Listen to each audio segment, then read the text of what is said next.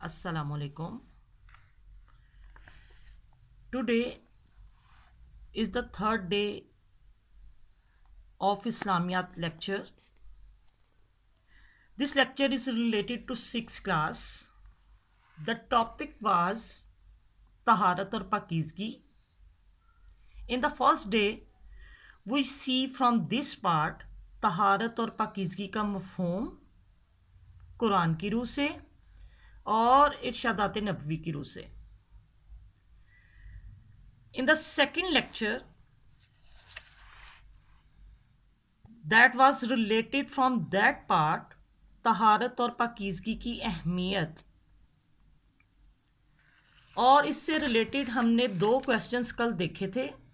تہارت سے کیا مراد ہے اور صفائی اور پاکیزگی کی اہمیت قرآن اور حدیث کی روشنی میں۔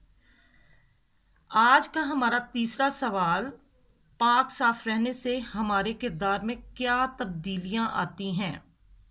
اور لاسٹ پیراگراف ہم یہ دیکھیں گے۔ بدھو لوگ اکثر پانی کی کمی کی وجہ سے کئی کئی دن غسل نہ کرتے تھے۔ بدھو لوگ، عرب کے وہ لوگ جو تہذیب یافتہ نہ تھے، دیہاتی لوگ تھے۔ آپ صلی اللہ علیہ وسلم نے ان کو ہدایت فرمائی کہ کم از کم جمعے کے روز غسل کر کے مسجد میں آئیں تاکہ دوسرے لوگ ان کے پسینے کی بدبو سے پریشان نہ ہوں۔ اسلام میں تہارت اور پاکیزگی کی بڑی اہمیت ہے۔ جو شخص اپنا بدن اور لباس پاک صاف رکھتا ہے، اس کے خیالات اور عقائد بھی پاک صاف ہو جاتے ہیں۔ اپنا بدن اور لباس پاک صاف رکھتا ہے، اس کے خیالات اور عقائد بھی پاک صاف ہو جاتے ہیں۔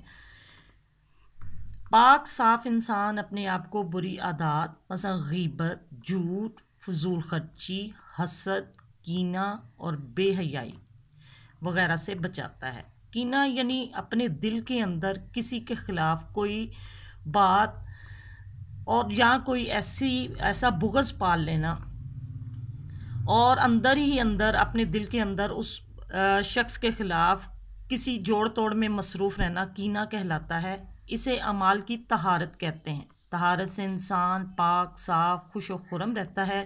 اس کی سوچ پاکیزہ اور عمل نیک ہوتا ہے۔ اس کی عبادت مقبول اور دعائیں پوری ہوتی ہیں۔ اس میں کوئی شک نہیں کہ تہارت قربت الہی کی کنجی ہے۔ قربت الہی کی کنجی ہے۔ اس کو آپ ہائی لائٹ کریں گے۔ یعنی اللہ تعالیٰ کی محبت حاصل ہوتی ہے۔ اللہ تعالیٰ کی قربت، اللہ تعالیٰ کے انسان قریب ہو جاتا ہے۔ سوال دیکھیں گے آپ پاک صاف رہنے سے ہمارے کردار میں کیا تبدیلیاں واقع ہوتی ہیں؟ کردار میں کیا تبدیلیاں واقع ہوتی ہیں؟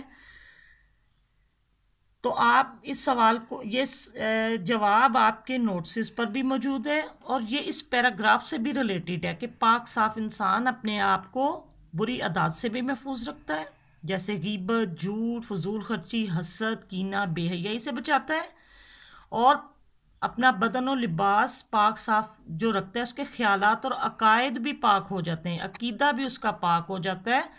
پاک صاف انسان اپنے آپ کو عادات، بری عادات سے بچاتا ہے۔ ان سب چیزوں کو کیا کہتے ہیں؟ امال کی تہارت کہتے ہیں۔ آج کا یہ آخری کویشچنس ہم یہیں پہ ختم کریں گے۔ اور پریکٹیکلی آپ اس سوال کو یاد کر کے اپنی نوٹ بک کے نوٹ بک پر لکھیں گے۔